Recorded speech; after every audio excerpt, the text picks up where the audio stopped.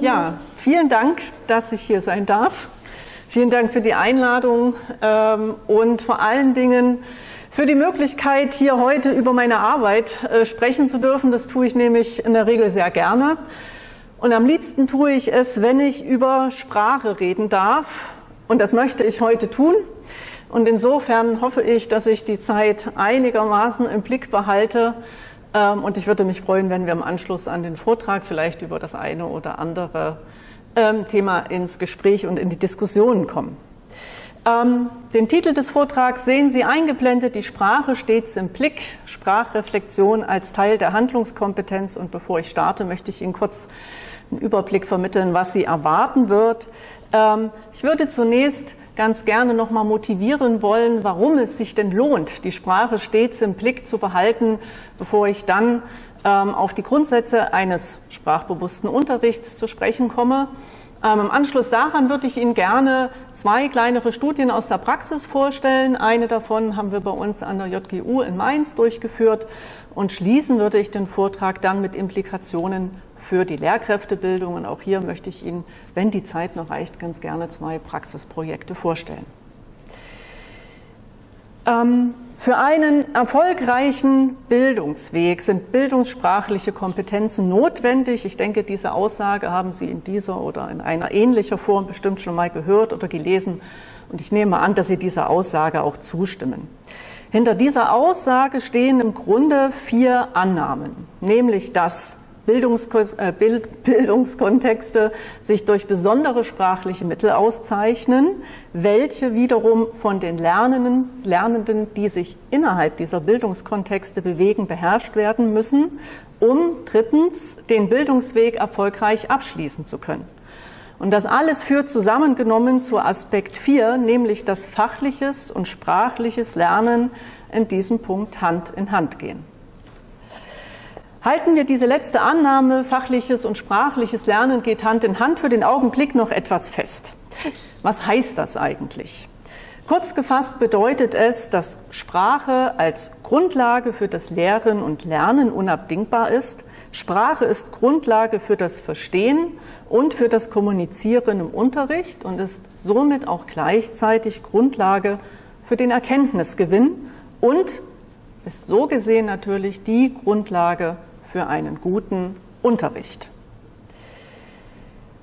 Dass fachliches und sprachliches Lernen Hand in Hand geht, bedeutet aber auch, dass Lernende wiederum spezielle sprachliche Kompetenzen benötigen, um fachliche Inhalte erwerben zu können und um fachliche Inhalte wiedergeben und auch weitergeben zu können. Verfügen Lernende nicht über diese sprachlichen Kompetenzen, so können Fachinhalte oftmals nur unzureichend erschlossen werden und somit kann Sprache in dieser Situation auch zu einer Barriere im Unterricht werden.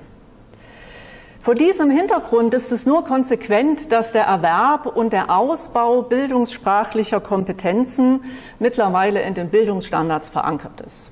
Ja, aber ich denke, ja, Sie alle wissen, dass es hier um weit mehr geht als um die Verankerung in den Bildungsstandards, sondern es geht, wenn es um Sprache geht auch immer um eine, also um Chancengleichheit und um Teilhabe. Denn Sprache kann auch als Mittel zur Selektion und eben auch zur Exklusion genutzt werden. Daher ist es eben notwendig und unabdingbar, ja, dass ein guter Unterricht neben fachlichen Kompetenzen auch sprachliche Kompetenzen im Blick behält. Und genau das ist der Kern ja, des Konzepts eines sprachbewussten oder sprachsensiblen Unterrichts. Dieses Konzept ist jetzt nicht neu. Ja, in den letzten 10 bis 15 Jahren ist das Interesse an diesem Thema unglaublich gewachsen und seitdem sind sehr viele Arbeiten dazu entstanden. Einige davon, bei weitem nicht alle, werde ich ja, im Laufe des Vortrags auch noch mal explizit aufnehmen. Aber lassen Sie uns zunächst erst noch mal klären, was eigentlich der Begriff sprachbewusst in diesem Kontext sprachbewusster Unterricht eigentlich heißt. Sprachbewusst bzw. Sprachbewusstheit bedeutet in aller Kürze, dass ich willentlich Sprache und den, und den Gebrauch von Sprache betrachte. Ein Unterricht ist also dann sprachbewusst, wenn ich Sprache bzw. die sprachlichen Mittel, die mit dem Unterricht einhergehen, äh, betrachte und auch reflektiere. Und insofern ist Sprachreflexion jetzt also nicht nur das alleinige Betrachten von Sprache und Sprachgebrauch, sondern meint vielmehr das Erkennen von Strukturen, von Mustern und setzt daher eben neben einer Sprachbewusstheit auch sprachliches Wissen voraus. Nun stellt sich die Frage, wie denn nun Sprache und Sprachgebrauch mit Blick auf eine Unterrichtsgestaltung zu reflektieren sind. Und in diesem Kontext fallen mir zwei weitere Fragen ein, die wir vielleicht erst mal klären sollten, bevor wir die Ausgangsfrage klären. Und diese beiden Fragen lauten, wo begegnet uns eigentlich Sprache im Unterricht und in welcher Form begegnet uns Sprache im Unterricht? Fangen wir mit Frage 1 an, denn die ist relativ schnell beantwortet. Kurz gesagt, Sprache ist im Unterricht eigentlich allgegenwärtig. Ja? Wir finden Sprache in Lehrbüchern, in Arbeitsheften, in Arbeitsaufträgen. Sprache geschieht, wenn die Lehrkraft einen Vortrag hält, wenn Lernende ein Referat halten, wenn es zur Interaktion zwischen Lehrkraft und Lernenden kommt oder eben zur Interaktion zwischen den Lernenden. Sprache passiert aber auch in Form von Filmen oder Audiosequenzen, ja, also andere Medien. All das, was wir im Unterricht verwenden, ist in der Regel immer mit Sprache verbunden. Kommen wir zur Frage 2. In welcher Form begegnet uns Sprache im Unterricht? Und hier denke ich, sind drei Aspekte zu differenzieren, um diese Frage zu beantworten. Einmal kann Sprache mit Blick auf ihr Abstraktionsniveau betrachtet werden, einmal mit Blick auf ihre Funktion und natürlich mit Blick auf Register und Modalität. Leisef, äh, Leisef, Entschuldigung, Josef Leisen zufolge können wir Sprache im Unterricht auf verschiedenen Abstraktionsniveaus erleben. So gibt es die nonverbale Ebene. Hierbei werden konkrete Gegenstände präsentiert. Dann gibt es die bildliche Ebene, auf der Sachverhalte mittels bildhafter Sprache veranschaulicht werden, beispielsweise in Form von Fotografien, Skizzen, Zeichnungen etc. Auf der sprachlichen Ebene sind dann alle mündlichen und schriftlichen sprachlichen Handlungen erfasst und leisen differenziert. Hier nochmal nach Handlungen der Alltagssprache, der Unterrichtssprache und der Fachsprache. Ich werde das später noch einmal aufgreifen. Er differenziert weiterhin Sprache auf der symbolischen Ebene, hier in Form von Diagrammen, Tabellen und Graphen. Und schließlich gibt es Sprache auch auf formaler Ebene, nämlich mittels abstrakter Symbole in Form von Formeln. Welche Funktionen von Sprache können nun für den Unterricht differenziert werden?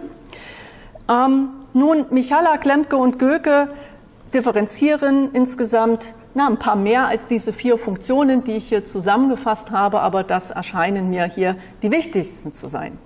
Sprache kann und ist natürlich Lernmedium im Unterricht. Ja? Das heißt, über Sprache vermitteln wir Fachinhalte.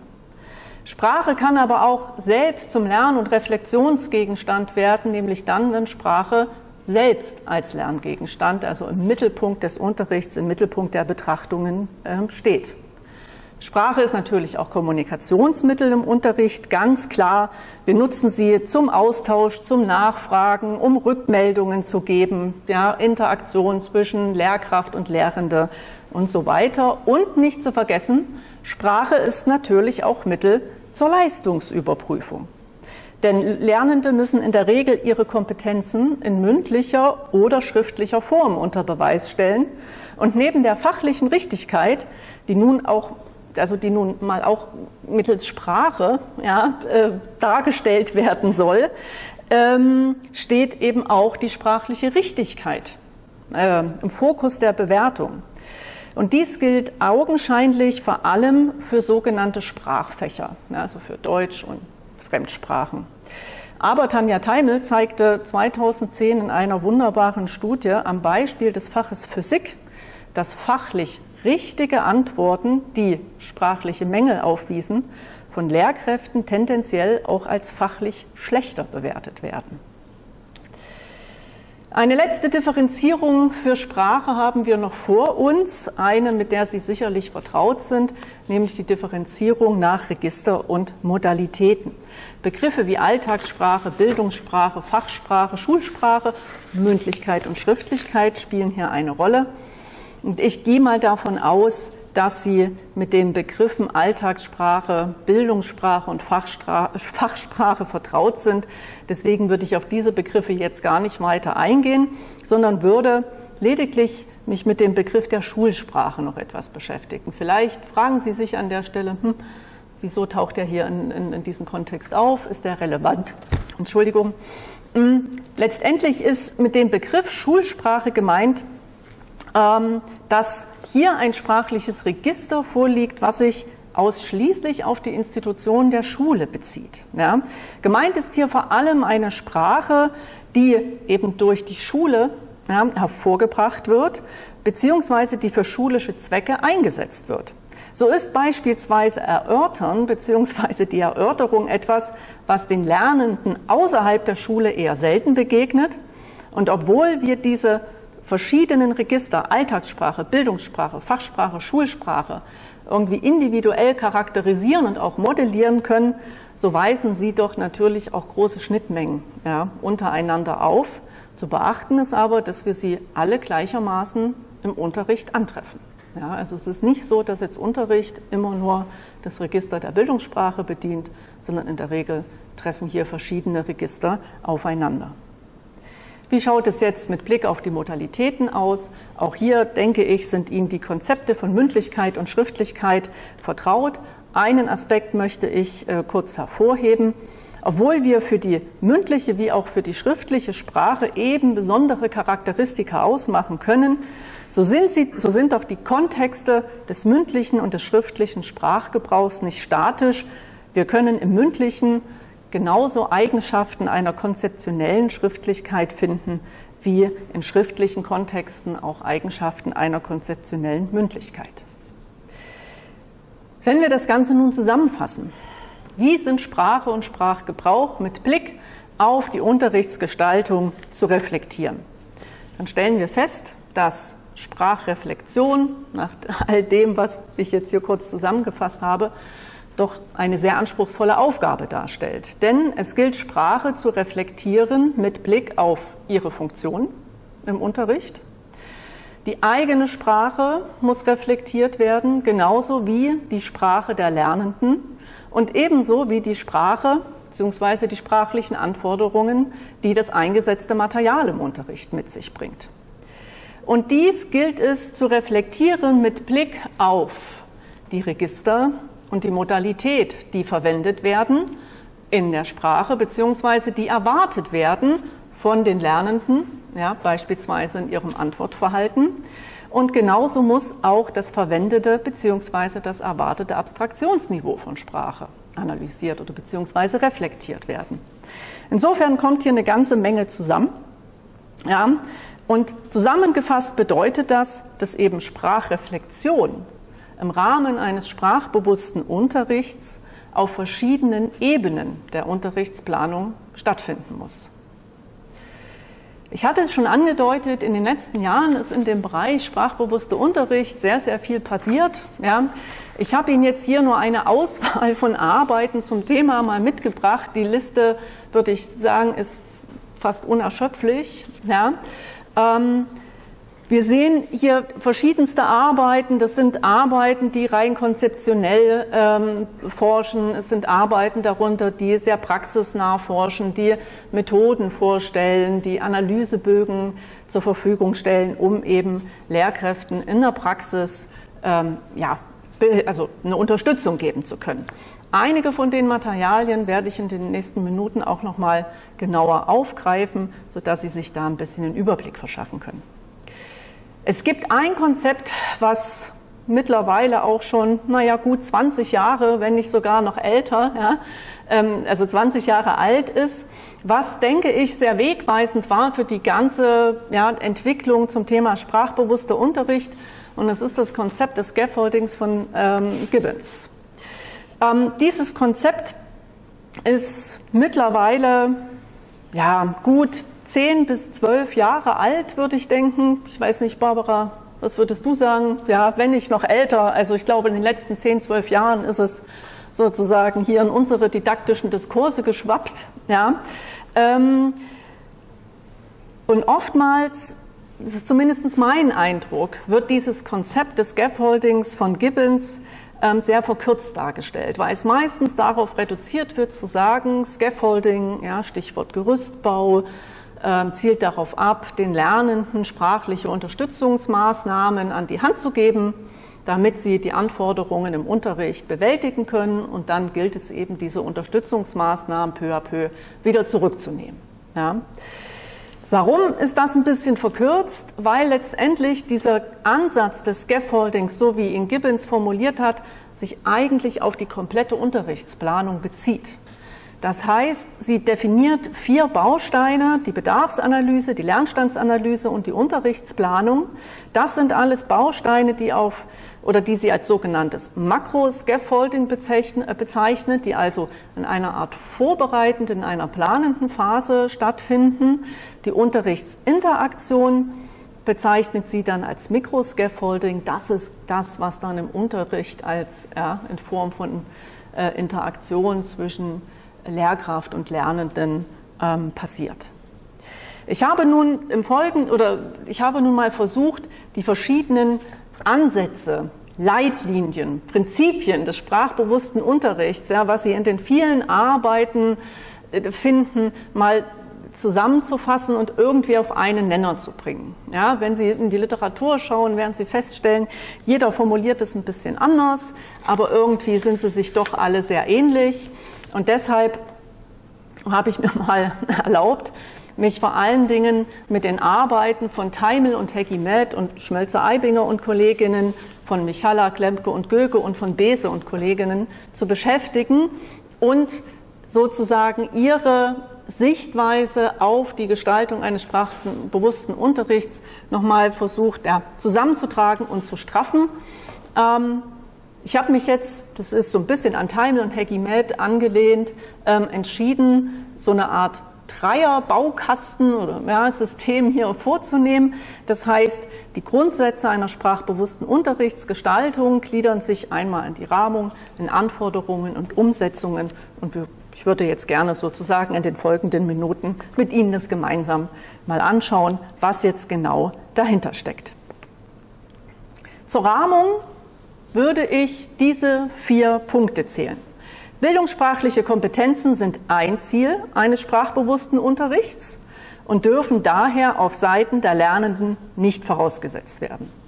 Eine sprachbewusste Unterrichtsgestaltung betrifft alle Fächer.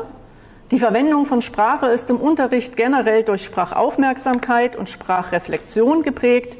Damit Sprache ein inhärenter Teil des Unterrichts wird, muss sie bereits bei der Unterrichtsplanung eingesetzt werden. Ich denke, der erste Punkt, dass die bildungssprachlichen Kompetenzen ein Ziel des Unterrichts sind und nicht zu den Voraussetzungen zählen dürfen, darüber müssen wir, glaube ich, nicht weiter reden. Ja, kommen wir zu Punkt zwei. Eine sprachbewusste Unterrichtsgestaltung betrifft alle Fächer. Letztendlich bedeutet dieser Punkt, dass alle Lehrkräfte in ihrem Unterricht sprachbewusst agieren sollen. Idealerweise auch noch fachübergreifend. Heißt das jetzt, dass jeder Unterricht zugleich auch ein Sprachunterricht ist? Ja, das heißt es. Heißt das, dass jetzt jede Lehrkraft eine versteckte Deutschlehrkraft ist? Nein, das heißt es natürlich nicht. Ja. Aber es ist letztendlich so, dass, jede, dass jedes Fach ja, seine eigene Fachsprache besitzt und entsprechend muss der Fachunterricht auch diese Fachsprache vermitteln. Das kann gar nicht die Aufgabe des Deutschunterrichts allein sein, ja, weil der Deutschunterricht eine eigene Fachsprache hat, ja, die er vermitteln muss und die Anforderungen, die fachsprachlichen Anforderungen der Fächer sich von den fachsprachlichen Anforderungen des Faches Deutsch auch unterscheiden. Nichtsdestotrotz bildet der Deutschunterricht schon eine Grundlage, ja, weil hier den Schülerinnen explizites sprachliches Wissen vermittelt wird, wie beispielsweise Wortarten, Unterscheidung von Haupt- und Nebensatzstrukturen. Also hier wird das Werkzeug mit an die Hand gegeben, was für sprachreflexive Prozesse im Fachunterricht notwendig ist. Ein interessanter Punkt, den ich hier noch hinzufügen möchte, der nochmal dieses Argument unterstützt, dass der Deutschunterricht nicht allein für alles hier verantwortlich sein kann, ähm, ist oder basiert wiederum auf einer Studie von Tanja Teimel, wiederum zur, äh, äh zum Fach Physik. Sie hat ähm, 2001 den Rahmenlehrplan für die SEC 1 ja, Fach Physik analysiert und hat sich darin mal die enthaltenen Sprachhandlungen, wie Beschreiben und Begründen, angeschaut und auch die fachlichen Handlungen, wie beispielsweise Experimentieren. Und Teimel kommt hier zu dem Ergebnis, dass der Rahmenplan deutlich mehr sprachliche als fachliche Handlungen ja, enthält. Und insofern ist auch klar, ja, das unterstreicht es nochmal, dass jedes Fach für seine eigene Fachsprache oder für die Vermittlung der eigenen Fachsprache verantwortlich ist. Für eine fachübergreifende Arbeit an dieser Stelle spricht, dass es sprachliche Handlungen gibt, die in verschiedenen Fächern auftauchen, aber jeweils eine fachspezifische Auslegung erfahren. Nehmen wir zum Beispiel die Handlung des Beschreibens. Diese finden wir im Deutschunterricht, ganz klassisch, fünftes Schuljahr Personenbeschreibung oder Tierbeschreibung. Wir finden sie aber auch im Kunstunterricht, wenn es um Bildbeschreibungen geht. Und wir finden sie auch in naturwissenschaftlichen Fächern, wenn es um die Beschreibung von Experimenten oder von Experimentabläufen geht. Alle Beschreibungen verlangen so gesehen die gleiche sprachliche Handlung, nämlich die des Beschreibens. Jedoch stellen die Fächer verschiedene fachsprachliche Anforderungen. Und Lernende müssen letztendlich eine abstrakte Vorstellung, ja, eine Art Metatextsorte Beschreibung entwickeln. Und dazu ja, ist es notwendig, dass sie eben diese, ja, diese, diese Textform Beschreibung in, in, ihren ganzen Variationen, ja, in ihrem Bildungsweg auch kennenlernen. Und insofern bietet sich natürlich genau an diesen Stellen eine fachübergreifende Zusammenarbeit an. Kommen wir zum nächsten Punkt. Die Verwendung von Sprache ist im Unterricht generell durch Sprachaufmerksamkeit und Sprachreflexion geprägt. Ich denke, hier kann ich mich auch kurz fassen. Dazu habe ich am, äh, zu Beginn des Vortrags genug gesagt, was, ja, worauf man äh, sich alles konzentrieren kann bzw. konzentrieren sollte. Kommen wir zum letzten Punkt der Rahmung. Damit Sprache ein inhärenter Teil des Unterrichts wird, muss sie bereits bei der Unterrichtsplanung mit einbezogen werden. Das bedeutet äh, letztlich nichts anderes, als dass Sprache oder sprachliche Anforderungen, die mit dem Unterricht einhergehen, von Anfang an mitgedacht werden müssen. Bedeutet natürlich auch, dass ich die sprachlichen Anforderungen meines Unterrichts kennen muss. Teimel und Hegimet äh, schlagen hierzu ja, eine adaptierte Form des Planungsrahmens vor. Der geht eigentlich auch auf Pauline Gibbons zurück. Die Stärke des Planungsrahmens ist es, einen umfassenden Überblick über alle geplanten Sprachaktivitäten im gesamten Unterricht zu bieten. Was heißt das jetzt? Der Planungsrahmen, Sie sehen hier, ja, sieht recht simpel aus. Es ist eine relativ überschaubare Tabelle, in der es letztendlich darum geht, allgemeine Aktivitäten der Stunde aufzulisten und diese dann runterzubrechen auf Hören, Sprechen, Lesen und Schreiben. Gleichzeitig soll für diese vier Modalitäten diese, die Sprachstrukturen notiert werden, die in der Stunde vorkommen, die relevant sind und in einem letzten Schritt wird dann ja, für die jeweiligen Strukturen das Vokabular bestimmt, was hier wichtig ist. Ja. Hier haben Sie mal ein Beispiel, wo Sie sehen, ja, wie man sich das in etwa vorstellen kann. Und auf Grundlage dieses Planungsrahmens kann ich nun erkennen, welche sprachlichen Aktivitäten habe ich überhaupt in meinem Unterricht? Habe ich überhaupt verschiedene oder mache ich eigentlich die ganze Stunde immer wieder das Gleiche? Ja? Und vor allen Dingen, welche Strukturen setze ich denn voraus?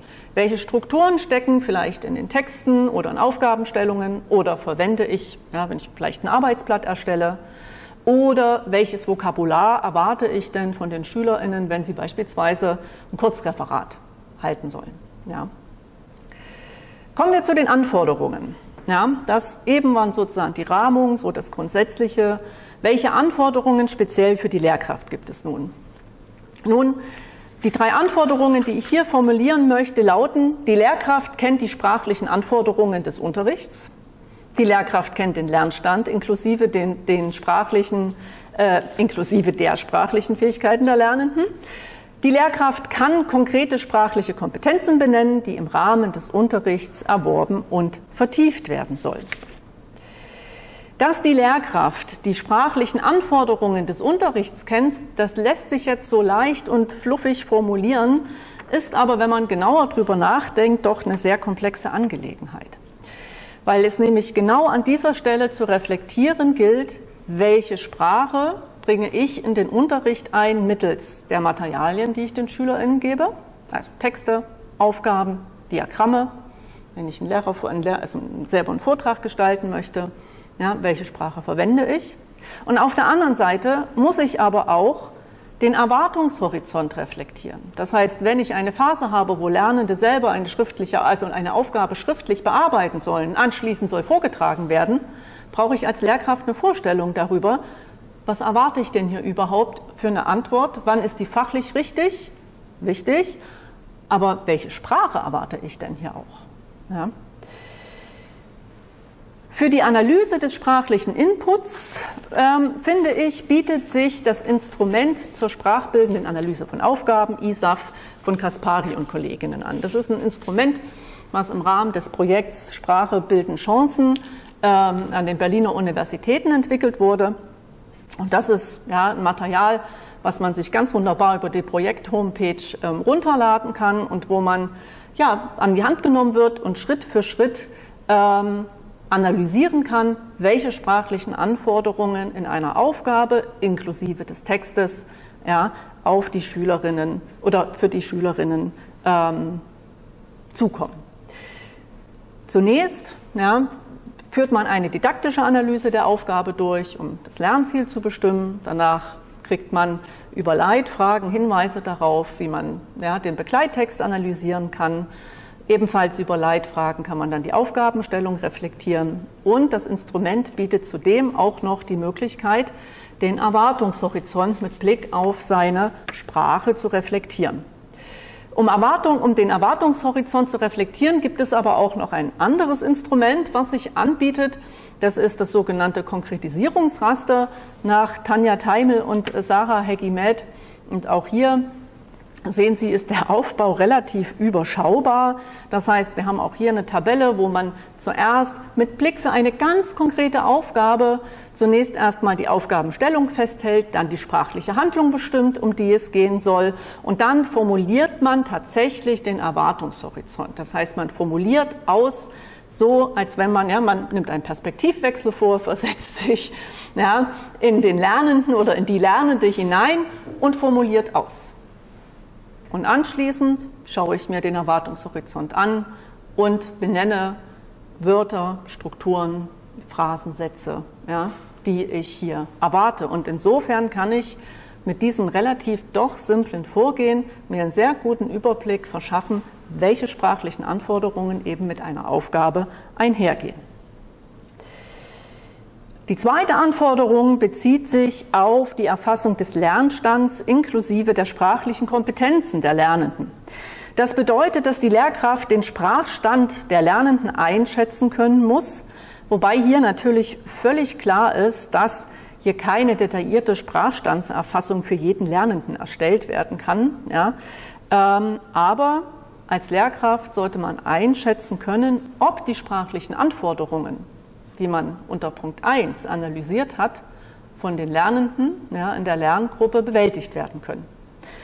Warum ist das wichtig? Weil eigentlich dann auf dieser Grundlage nämlich Schritt 3 greift, ähm, nämlich die Formulierung von konkreten sprachlichen Kompetenzen, die im Rahmen des Unterrichts erworben oder vertieft werden sollen.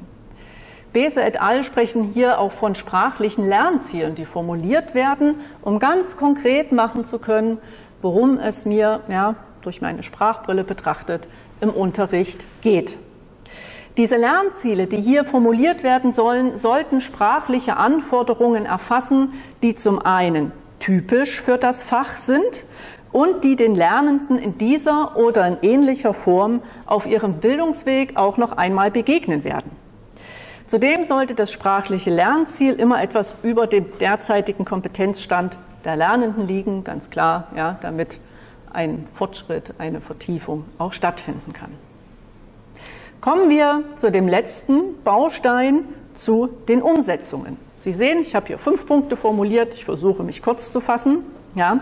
Unter Umsetzung verstehe ich nun die konkreten Schritte der Planung beziehungsweise das, also Schritte der Planung, der Unterrichtsplanung beziehungsweise eben das Handeln im Unterricht selbst, um das sprachliche Lernziel, was ich mir formuliert habe, auch erreichen zu können. Dazu zählen die folgenden Punkte. Ein sprachbewusster Unterricht knüpft sowohl sprachlich als auch fachlich an die Lebenswelt der Lernenden an. Das ist ein allgemeiner Grundsatz für jede Unterrichtsvorbereitung. Ich denke, darüber müssen wir in diesem Kontext nicht reden. In einem sprachbewussten Unterricht werden sprachliche Mittel zur Verfügung gestellt sowie Maßnahmen ergriffen, damit alle Lernenden sprachhandlungsfähig sind. Was ist jetzt letztendlich darunter zu verstehen? Nun, im Grunde genommen meint dieser Punkt, dass ich, an, wenn ich feststelle, dass zwischen den sprachlichen Anforderungen, die mein Unterricht mit sich bringt, und den sprachlichen Leistungen, die, über die meine Lernenden oder über die die Schülerinnengruppe verfügt, wenn dort eine Lücke herrscht, dann muss ich diese Lücke versuchen zu schließen. Das heißt, ich muss in meinem Unterricht darauf reagieren. Ich muss also didaktische Maßnahmen ergreifen, um ja, sprachlich unterstützend wirken zu können.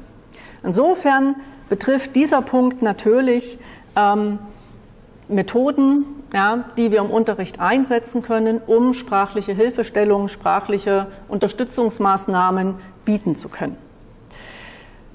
Eine, eine Unterstützungsmaßnahme meint jedoch nicht, dass man sozusagen die sprachlichen Hürden, auf die die Schülerinnen vielleicht im Kontext des Unterrichts treffen, zur Seite stellt. Also es geht nicht darum, Texte zu vereinfachen oder zu verkürzen oder irgendwo Fachbegriffe rauszustreichen.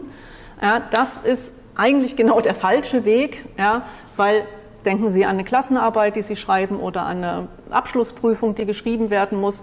Da geht auch niemand vorher hin und fängt an, Fachbegriffe rauszustreichen. Ja, also insofern sind hier didaktische Maßnahmen gemeint, die dazu führen, dass Lernende selbstständig ja, diese sprachlichen Hürden überwinden.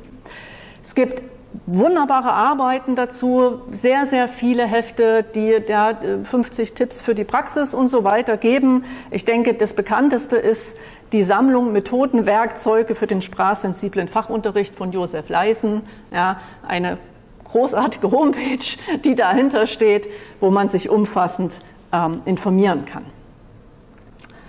Kommen wir, hoppsala, zu dem dritten Punkt. In einem sprachbewussten Unterricht findet ein aktives und authentisches Sprachhandeln statt. Hier sind unter anderem sprachfördernde Aktivitäten wie zum Beispiel ein verständnissicherndes und klärendes Rückfragen gemeint. Zur Förderung eines aktiven Sprachhandelns seitens der Lehrkraft bedarf es aber auch Unterrichtsdialoge, die die Lernenden dazu anregen, auch längere und komplexere Äußerungen zu produzieren. Ja, das bedeutet, weniger Ja-Nein-Fragen stellen, mehr offene Fragen stellen, ja, um eben so die Lernenden dazu zu animieren, sich auch in einem längeren Zusammenhang einmal zu äußern. So ein aktives Sprachhandeln kann beispielsweise auch in, äh, durch ein kooperative oder durch kooperative Schreibformen erreicht werden. Ja, also das muss nicht immer alles mündlich passieren. In einem sprachbewussten Unterricht sind die sprachlichen Anforderungen explizit und transparent. Das bedeutet, sprachliche Handlungen, die mit der Bearbeitung einer Aufgabe verbunden sind, sollten transparent für die Lernenden sein. Äh, Kurz und Kolleginnen geben diesem Punkt noch einen ja, gewissen Effet, indem sie sagen, naja, es muss nicht nur auf die Transparenz der sprachlichen Handlungen geachtet werden, sondern es geht auch darum, auf sprachliche Voraussetzungen zu achten, die in Aufgaben drinne stecken. Damit meinen Sie beispielsweise ähm, Aufgaben, die ein bestimmtes Sprachgefühl, also ein gewisses implizites Sprachwissen voraussetzen, das dann für die korrekte Bearbeitung der Aufgabe notwendig ist, wenn es beispielsweise um Genusbestimmung geht. Ja, und ich habe hier mal ein Beispiel aus dem Deutschbuch Klasse 5 überarbeitet die Sätze so, dass sie eindeutig sind, geht so vor. Schreibt den Text ab und unterstreicht dann alle Personal- und Possessivpronomen. jetzt kommt ja, das, worauf ich hinaus will, verbindet die Personal- und Possessivpronomen mit den Nomen, auf die sie sich eigentlich beziehen, zum Beispiel durch einen Pfeil. Wo bezieht sich ein Pronomen auf mehrere Nomen, sodass Unklarheiten entstehen? Also es ist klar, was ne, die Schülerinnen hier erkennen sollen, ja, aber diese Aufgabe kann nur dann gelöst werden, vor allen Dingen auch Aufgabe C, ja, die Überarbeitung der Sätze, dass sie also eindeutig werden, wenn ich den Genus der Substantive weiß.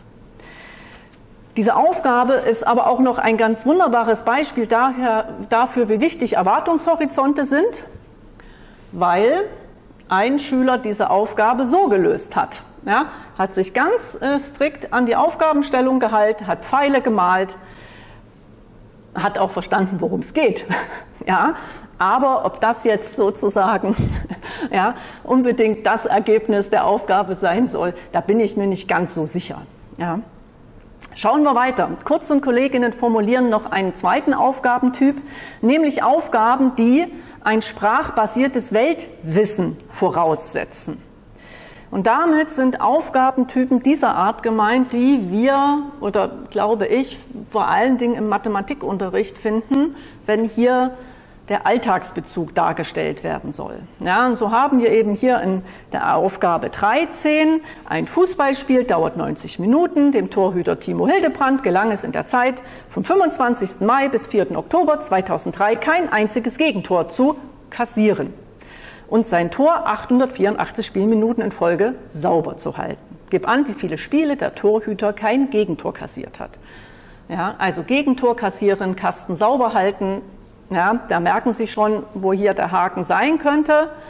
Die nächste Aufgabe finde ich noch viel faszinierender. Familie Schmoll möchte sich ein neues Auto für 17.500 Euro kaufen. Mit dem Verkäufer vereinbart sie folgende Finanzierung, Anzahlung sofort 3.100 Euro, 48 gleiche Monatsraten sowie eine Restzahlung am Ende der Laufzeit und, und so weiter. Wie teuer ist eine Monatsrate, wenn keine Zinsen anfallen?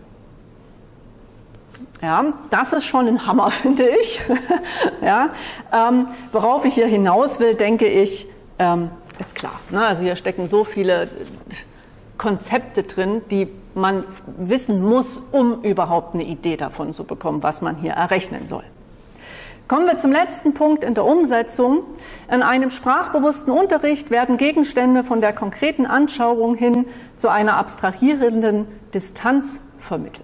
Das bedeutet letztendlich, salopp formuliert, vom Einfachen zum Komplexen und damit einhergehend eben auch den Übergang von einer konzeptionellen Mündlichkeit zu einer oh, konzeptionellen Schriftlichkeit. Entschuldigung, das müsste ich ändern. Knifka und Neuer ähm, halten quasi diese oder haben diese Leitlinie in dieser ja, Skizze ähm, festgehalten. Und hier kann man zwei Dinge ganz wunderbar erkennen. Das ist jetzt ein Beispiel für einen Erdkundeunterricht, wo es um die Funktionsweise eines Kompass geht. Ähm, wir sehen auf der fachlichen Ebene eben die Steigerung von der konkreten Anschauung, also ausprobieren, anschauen, wie sieht so ein Kompass aus und so weiter, ja, hin zu einer abstrahierenden Distanz, dass man einen Fachtext darüber liest und dazu Aufgaben beantwortet. Und auf der Seite der Sprache sehen wir, dass hier erstmal in einer mündlichen Erzählung, in der Alltagssprache begann, äh, begonnen wird. Ja, die Partnerinnen tauschen sich darüber aus was Sie vielleicht schon mal, ob Sie schon mal selber einen Kompass benutzt haben und so weiter. Und auch hier sehen wir dann, wie sozusagen die Sprache oder die, ja, mit, mit Blick auf ihre Strukturen, auf die Nutzung komplexer wird und eben dann mit Blick auf den Fachtext in einer konzeptionellen Schriftlichkeit endet. An der Stelle müssen Sie und ich erstmal kurz Luft holen. Das war jetzt sehr viel. Ja, wir haben unter dem Motto, ja, die Sprache stets im Blick gesehen, warum es notwendig ist, über Sprache und Sprachgebrauch im Unterricht zu reflektieren. Wir haben verschiedene Funktionen von Sprache, verschiedene Abstraktionsniveaus und wir haben verschiedene Register und Modalitäten im Unterricht. Hinzu kommt, dass wir Sprache im Unterricht eigentlich immer, immer parat haben, in verschiedenen Medien, Büchern, Audiosequenzen, Videosequenzen, gesprochene Sprache und so weiter. Ja, und all das muss irgendwie in diese Unterrichtsplanung mit rein, dazu ja, habe ich diese drei Grundsätze eben vorgestellt, die letztendlich eine Zusammenfassung bestehender ja, Ansätze sind. Kommen wir auch mit Blick auf die Zeit zu dem vorletzten Punkt des Vortrags, nämlich zum Blick in die Praxis. Und hier möchte ich Ihnen, wie gesagt, zwei Studien vorstellen. Eine Studie, die schon ein bisschen älter ist, das ist nämlich die Studie vom Mercator-Institut in Köln, die ist von 2012 und im Anschluss daran möchte ich Ihnen eine etwas aktuellere Studie vorstellen. Ähm, das Mercator-Institut hat unter dem Label Sprachförderung an deutschen Schulen die Sicht der Lehrerinnen und Lehrer 2012 ähm, mittels eines Standard- oder halbstandardisierten Interviews Lehrkräfte befragt, und im Fokus der Studie standen die Fragen, wie erfahren Lehrkräfte die sprachliche Heterogenität in ihren Klassenzimmern, mit welchen didaktischen und pädagogischen Maßnahmen reagieren sie darauf und welche Unterstützung und Hilfestellung wünschen sie sich. Seien Sie nicht verwundert, wenn Sie jetzt hier in diesem Kontext immer den Begriff Sprachförderung hören. Ja, letztendlich, wenn man sich die Motivation für diese Studie und den Aufbau durchliest, ja, wird klar, dass hier Sprachförderung eigentlich auch durch sprachbildende Maßnahmen im Unterricht hätte ersetzt werden können. Warum, denke ich jedenfalls, warum das nicht passiert ist, weiß ich nicht. Also lassen Sie sich bitte jetzt nicht, ja, vielleicht durch dieses Konzept von Sprachförderung aus dem Elementarbereich, was Sie so im Hinterkopf haben, ablenken. An dieser Studie nahmen insgesamt 512 Lehrkräfte von 394 allgemeinbildenden Schulen teil. Und wie gesagt, die Datenerhebung erfolgte über halbstandardisierte Interviews. Die Ergebnisse kurz zusammengefasst zeigen, dass 70 Prozent der befragten Lehrkräfte angaben, dass sie Schüler unterrichten, die einen Förderbedarf haben. Jedoch haben nur ein, oder jedoch haben 61 Prozent der Lehrer angegeben, im Unterricht selbst, also in ihrem eigenen Unterricht selbst, keine sprachfördernden Maßnahmen einzubauen. Fragt man die Lehrkräfte, die nicht fördern, nach ihren Gründen, so bemängelt fast die Hälfte eine fehlende Aus- und Weiterbildung. Darauf folgen Gründe wie Zeitmangel und fehlende Unterrichtsmaterialien.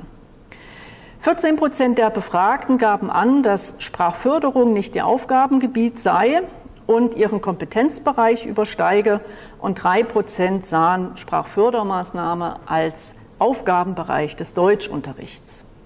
Die Ergebnisse zeigen weiterhin, dass Sprachförderung den Lehrkräften aber wichtig ist, denn 91 Prozent fordern eine sukzessive aufeinander aufbauende Förderung für alle Altersstufen und 82 Prozent der Befragten sehen Sprachfördermaßnahmen auch als fachübergreifend und eben nicht nur auf den Deutschunterricht beschränkt. Etwa ein Drittel der Befragten sieht sich durch ihr Studium auf den Unterricht in sprachlich heterogenen Klassen gut bis sehr gut vorbereitet. Die anderen zwei Drittel entsprechend nicht. Ja. Und obwohl heterogene Klassen und ein steigender Anteil auch an SchülerInnen mit Zuwanderungsgeschichte zum Alltag der Lehrkräfte in Deutschland gehören, gaben nur acht Prozent der befragten Lehrkräfte an, dass die Themen Sprachförderung und Deutsch als Zweitsprache ein verpflichtender Teil in ihrer universitären Ausbildung war. Nur 35 Prozent der befragten Lehrkräfte haben Erfahrungen im Bereich der Sprachstandsdiagnostik, die ja nun ja, für eine gute Förderung unabdingbar ist. Und auf die Frage, wie Sprachförderung im Unterricht gelingen kann, gaben 52 Prozent der Befragten an, dass hierbei eine Veränderung der Unterrichtsgestaltung der wichtigste Faktor sei. Fazit der Mercator-Studie. Die befragten Lehrkräfte befürworten Sprachfördermaßnahmen im Unterricht, binden diese jedoch kaum in ihren eigenen Unterricht ein. Diese Diskrepanz beruht vermutlich zu großen Teilen auf der als unzureichend empfundenen Qualifizierung. Und vorhandene Fortbildungsmöglichkeiten scheinen Lehrkräfte nicht zu erreichen und bieten somit keine adäquate Ergänzung im Vergleich zur universitären Ausbildung im Bereich eben Sprachförderung, Sprachbildung und Deutsch als Zweitsprache. Jetzt könnte man sagen, gut, die Studie ist jetzt locker zehn Jahre her. Wir haben jetzt 2022. Das Thema ist ja äh, in aller Munde. Vielleicht hat sich da ja was getan. Ja, es sind ja auch ja, neue Lehrkräfte aus den Universitäten in das Referendariat gegangen und in die Schulen gegangen.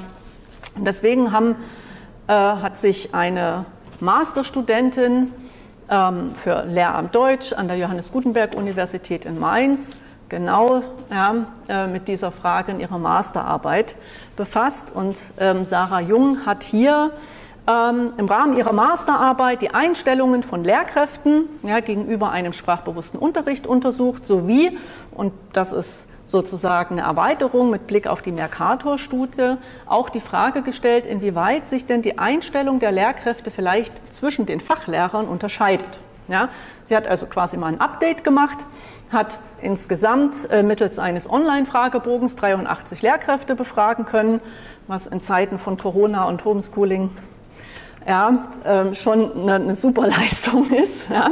Äh, diese Lehrkräfte kamen überwiegend aus Rheinland-Pfalz und Hessen. Dieser Online-Fragebogen enthielt 22 Frageblöcke und jeder Block bestand wiederum aus mehreren Items und diese Items waren entweder so aufgebaut, dass sie Ja-Nein-Antworten erforderten oder eben eine Zustimmung auf einer Skala von 1 bis 5 ähm, erforderten. Bevor ich mich auf diese beiden Fragen konzentriere, vielleicht erst so ein bisschen ein allgemeiner Überblick über die Ergebnisse.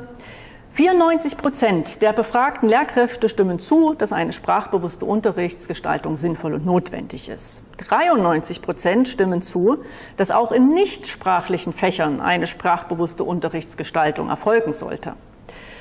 In Klammern aber nur 64 Prozent geben an, ihren Unterricht selbst sprachbewusst zu gestalten. Ein Vergleich zwischen den Fächern zeigt hier, dass vor allem Lehrkräfte aus sprachlichen Fächern und gesellschaftswissenschaftlichen Fächern mit Ja antworteten. Und diejenigen ähm, Lehrkräfte, die hier mit Nein geantwortet haben, also aus den MINT-Fächern oder auch aus den ästhetischen Fächern, ähm, gaben an Zeitmangel, fehlende Materialien und fehlende Ausbildung. Schauen wir uns die Einstellung der Lehrkräfte ein Stück weit genauer an. Ähm, ich habe hier einige Items dazu rausgesucht. Ja. Und die Ergebnisse dieser Untersuchung zeigen, äh, zeigen im Allgemeinen, dass, ähm, oder wir sehen im Allgemeinen eigentlich ein, ein, ein, ein sehr positives Bild, was Lehrkräfte mit Blick, oder, ja, mit Blick auf sprachbewussten Unterricht entwickelt haben. Die Ergebnisse zeigen, dass ähm, Sprache als Faktor für einen guten Unterricht fungiert Sprache wird in den Unterricht eingebunden, so werden beispielsweise sprachliche Handlungen gezielt vermittelt und die Lehrkräfte scheinen sich auch der Bedeutung ihrer eigenen Sprache bewusst zu sein. Ja, wenn Sie da jetzt auf die Zahlen gucken, das ist immer Mittelwert und Standardabweichung, müssen Sie immer so ein bisschen die Skalierung im Blick behalten. Eins ist immer Stimme nicht zu und fünf heißt immer Stimme vollkommen zu.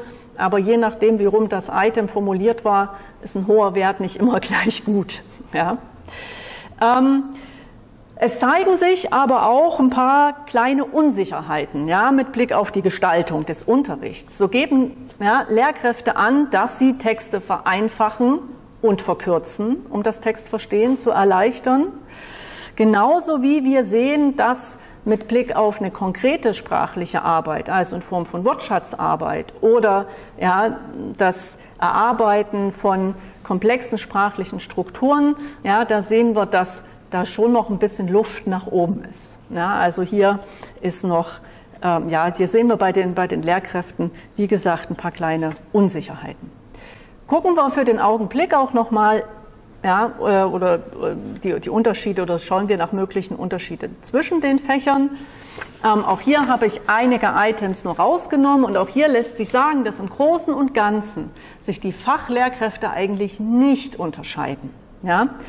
Ähm, so sind sich alle Gruppen der Notwendigkeit von Spracharbeit im Unterricht bewusst und sehen die Aufgabe zur Förderung auch im eigenen Fachunterricht und nicht nur ausschließlich im Deutschunterricht. Sprachliche Strukturen des eigenen Faches werden berücksichtigt, genauso wie die verschiedenen Register der Alltags- und Fachsprache.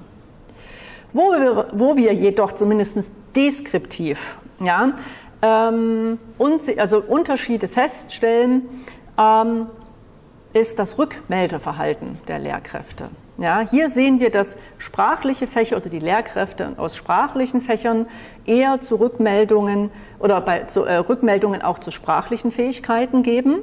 Und mit Blick auf die Rückmeldung zu fachlichen Gegenständen dreht sich das Bild. Ja, also Fachlehrer von Sprache ja, gewichten letztendlich, wenn man es vergleichen möchte, die sprachliche Rückmeldung höher, während ja, gerade die MINT-Lehrkräfte hier eher auf die fachliche Rückmeldung setzen. Ja. Und kleine Unterschiede sehen wir auch in dem letzten Punkt. Sie sehen es, ich habe es äh, markiert, ähm, für die Frage, ob denn das fachliche Niveau durch die Fokussierung sprachlicher Phänomene im Unterricht gesenkt wird. Ja, und auch hier sehen Sie, sind die, die, die Sprachlehrkräfte ein bisschen schmerzfreier als die Kolleginnen aus den MINT-Fächern. Ein letzter Punkt zu der Arbeit. Und dann schließen wir den Teil. Natürlich ähm, hat Frau Jung auch Fragen zur Aus- und Weiterbildung gestellt. Und hier sehen wir im Grunde genommen ein ganz ähnliches Bild. 71, also wie in der Mercator-Studie, so fühlen sich 71 Prozent eher nicht bis gar nicht auf einen Unterricht in sprachlich heterogenen Klassen vorbereitet. Das hat im Vergleich zu Mercator eigentlich noch ein bisschen zugelegt. Ja. Ähm, die Ausbildung wird als ausreichend empfunden. Hier haben sich die Lehrkräfte auf dieser Skala von 1 bis 5, ja, bei einer 2, 3 eingependelt. Also so richtig gut ist es auch nicht. Ähm, und 53 Prozent der Befragten sind an Fortbildungen im Bereich ja, zum sprachbewussten Unterricht eher interessiert bzw. sehr interessiert. Welches Fazit können wir aus dieser Masterarbeit ziehen? Nun, sprachbewusste Unterrichtsgestaltung wird als sinnvoll und notwendig angesehen. Es finden sich im Wesentlichen keine Unterschiede zwischen den Lehrkräften der verschiedenen Fächern. Wir sehen aber, wenn man sich einzelne Items genauer anschaut, schon Unsicherheiten bei den Lehrkräften eben mit Blick auf die Gestaltung eines sprachbewussten Unterrichts. Ja. Und wir sehen zwischen den Fächern dann Unterschiede, wenn die Lehrkräfte ihr konkretes Handeln im Unterricht reflektieren sollen. Ja, was sie da gewichten, fachliche oder sprachliche Aspekte. Wenn man jetzt beide Studien, die Mercator-Studie und die Masterarbeit von Frau Jung, gegenüberstellen, da muss man sagen, die Zahlen zeigen zumindest deskriptiv, dass eine sprachbewusste Unterrichtsgestaltung zehn Jahre ja, oder jetzt in den letzten zehn Jahren häufiger umgesetzt wird. Ja. Die Sensibilisierung der Lehrkräfte dafür ist genauso hoch. Ja. Was aber auch noch genauso hoch ist, ist die Unzufriedenheit mit Blick auf, wie fühle ich mich vorbereitet, ja, fühle ich mich qualifiziert genug, was hätte ich denn gern, ähm, damit ich ähm, ja, diese Aufgabe besser umsetzen kann. Und insofern komme ich zum letzten Punkt des Vortrags, nämlich zu den Implikationen für die Lehrkräftebildung. Und leider muss ich hier auch noch mal kurz mit zwei Fragen starten, bevor wir zu Ende reflektieren können. Zum einen müssen wir uns kurz noch mal fragen, welche Kompetenzen denn für eine sprachbewusste Unterrichtsgestaltung notwendig sind. Und zum anderen möchte ich die Frage aufwerfen, in welchem Rahmen denn diese Kompetenzen vermittelt werden können bzw. sollten. Fangen wir mit der ersten Frage an. Welche Kompetenzen sind denn notwendig? Nun, es wird Sie jetzt nicht überraschen, wenn ich sage, man braucht erstmal ein grundlegendes Wissen um die Notwendigkeit von sprachbewussten Unterricht. Man braucht eine Fähigkeit zur Sprachreflexion, die wiederum Sprachbewusstheit und Sprachwissen voraussetzt. Und insofern ist linguistisches Wissen ein elementarer Bestandteil dieser Reflexionskompetenz. Lehrkräfte benötigen aber auch diagnostische Kompetenz, nicht nur um die sprachlichen Fähigkeiten der Schülerinnen äh, bestimmen zu können oder einschätzen zu können, sondern auch um die sprachlichen Anforderungen des Materials zu erkennen. Und letztendlich benötigt man didaktisch-methodische Kompetenz.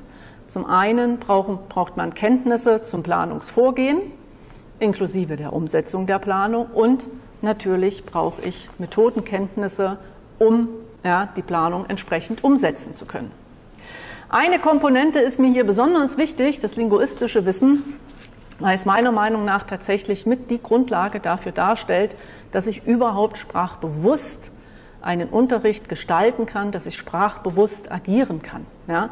Wenn wir sagen Sprachbewusstheit als Voraussetzung für Sprachreflexion braucht auch ein sprachliches Wissen, dann ne, ist eigentlich klar, dass alle Lehramtsstudierenden in ihrer Ausbildung über ein gewisses linguistisches Grundlagenwissen verfügen müssen.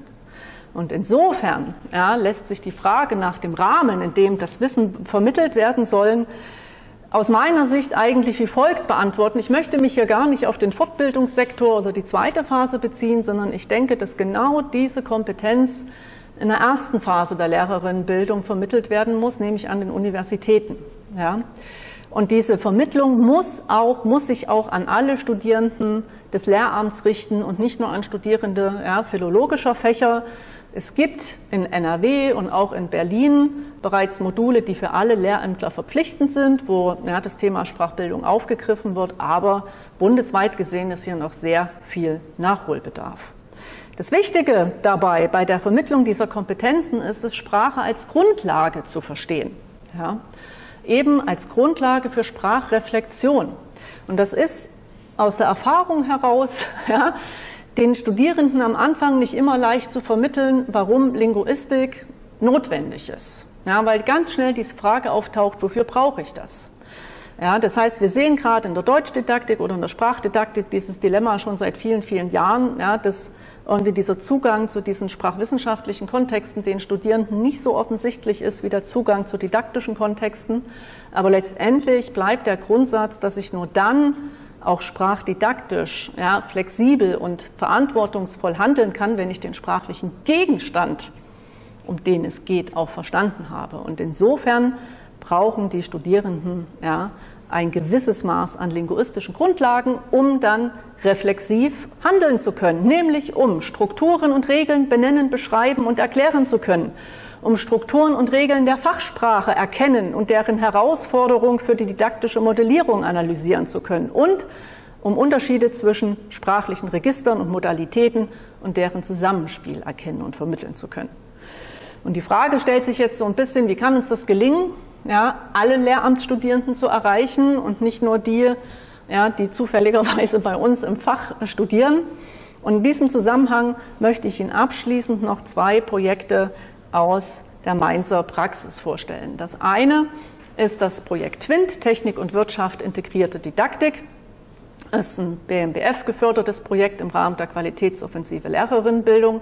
Und hier gibt es ein Teilprojekt namens Sprachreflex, Sprache, Sprachsensibilisierung und sprachliche Reflexion im Kontext von Fachunterricht und Mehrsprachigkeit. Dieses gesamte TWINT-Projekt ist im Kontext der berufsbildenden Schulen angesiedelt. Ja.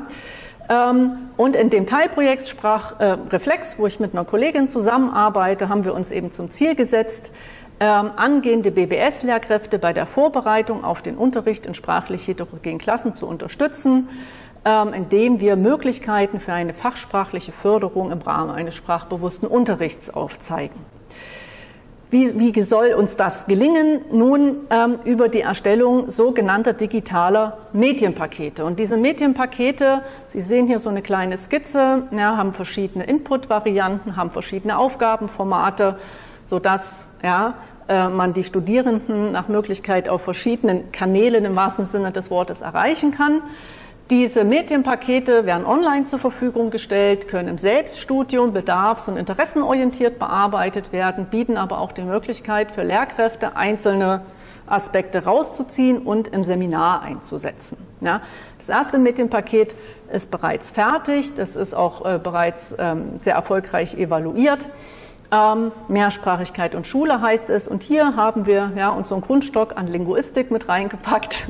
Und die Studierenden fahren damit sehr gut. Ja, das Medienpaket 2 wird jetzt fertiggestellt. Medienpaket 3 ähm, ja, bleibt noch bis Ende 2023 ähm, zu entwickeln. Falls Sie da Interesse haben, mal in diese Medienpakete reinzuschauen, äh, sehr gerne. Schreiben Sie mir einfach eine E-Mail. Das lässt sich alles einrichten. Das zweite Projekt, was ich Ihnen vorstellen möchte, ist noch ein Projekt der Zukunft, weil es voraussichtlich am 1.9.22 startet. Ähm, es ist das Projekt Fachdidaktische Unterrichtsplanung, fachspezifisch und fachübergreifend. Und genau das ist der Grund, warum ich Ihnen das kurz vorstellen möchte. Es ist ein Projekt, was ich zusammen mit äh, Kerstin Pohl und Marion Plein, äh, Plien, Entschuldigung, ähm, aus der äh, Didaktik für politische Bildung und äh, Didaktik der Geografie ähm, ja, geschrieben habe. Ähm, es wird gefördert von der Stiftung Innovation in der Hochschullehre, Förderlinie Freiraum. Und Ziel des Projektes ist es, dass die Studierenden fachspezifische und didaktische Kompetenzen vertiefen und dabei eine fachübergreifende didaktische Perspektive aufbauen sollen. Sie sollen dabei ein Konzept unterrichtlicher Praxis entwickeln, auf dessen Grundlage Gemeinsamkeiten und Unterschiede der Fächer deutlich und Kooperationen der Praxis erleichtert werden sollen. Upsala. Und wie setzen wir das um? Wir haben uns hier der Idee der Medienpakete bedient. Wir haben es jetzt hier in dem Antrag als sogenannte Lernmodule bezeichnet. Insgesamt wollen wir gemeinsam mit den Studierenden aus unseren eigenen Fachdidaktiken, aber eben auch fachübergreifend zu den ähm, Schwerpunkten fachspezifisches Bildungsverständnis, Lernen, Anleiten, Sprache im Fach, Förderung der Kompetenzentwicklung, Unterrichtsverlauf und Medien ja, wollen wir gemeinsam Inhalte entwickeln, die dann ebenfalls in Form ja, eines digitalen Moduls zur Verfügung gestellt werden und eben im Selbststudium bedarfs- und interessenorientiert eingesetzt werden können und eben auch in der Lehre. Ja. Damit wollen wir das eben auflösen, dass Lehramtsstudierende die Fächer eigentlich immer bloß nebenher oder nebeneinander studieren, ohne eigentlich ja, die Schnittstellen dazwischen ähm, zu erkennen. An dieser Stelle hole ich Luft, um zu sagen, vielen Dank für Ihre Aufmerksamkeit, äh, vielen Dank fürs Zuhören. Und wenn Sie Fragen haben, Anregungen, Kritik, dann jederzeit sehr gern. Vielen Dank.